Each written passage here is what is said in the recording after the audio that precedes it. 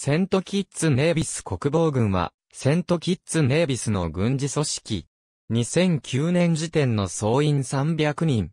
国防軍は、国防軍本部の下で、セントキッズ・ネービス連隊とセントキッズ・ネービス、沿岸警備隊及び両組織の予備役で構成される。総司令官は、国家安全保障担当大臣の命を受けて、軍を指揮する。国防軍は、連隊による国土防衛と地方警察との共同での秩序維持活動、沿岸警備隊による領海警備が主たる任務である。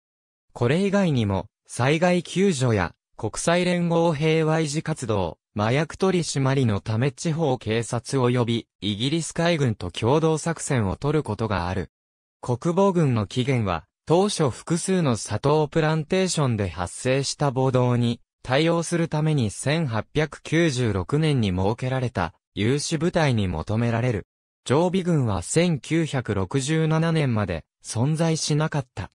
これは独立直後からあったアンギラ島との政策上の不和による騒動で、訓練不十分な有志部隊による鎮圧は困難であることが明白となり、その結果常備軍の必要性が認識された。最初の人材供給元は、ロイヤルセントキッズネイビス警察隊の特別活動隊及び戦術隊であった。セントキッズネイビス労働党主導で組織された常備軍に対し人民行動運動は断固反対の姿勢を貫いた。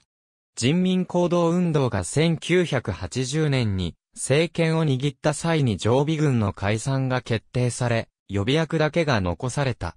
その後、1997年に当選したデンジル、ダグラスの新政権により、常備軍は再生された。C 中隊は、軍事教練団の学生150人を要する。予備役団には、以下のものがある。この他に、終艇3隻を保有。ありがとうございます。